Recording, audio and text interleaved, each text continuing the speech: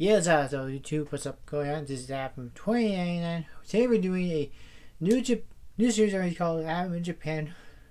So, hope you guys enjoy this video. Video, so subscribe to the channel, turn your post notifications, follow me on Pinterest, subscribe to Erika Costell, and let's go to it. So, today we are first, my first episode, we're going to talk about the Japanese rental cars. So, it's very cool.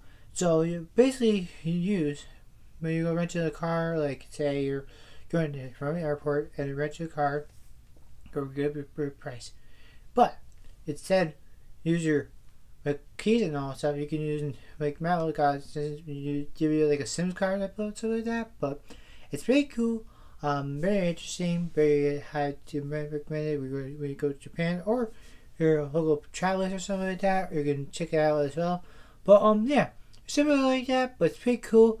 Very interesting. But um yeah, like I said, Japan's most popular as a it's Japan's cars from Toyota. It's pretty cool. And um yeah. Anyways guys, I'll see you guys in the Saturday afternoon. If you look like subscribe, turn your post notifications, follow me pictures, and so forth. I'll see you in the second video. It's awesome. See ya.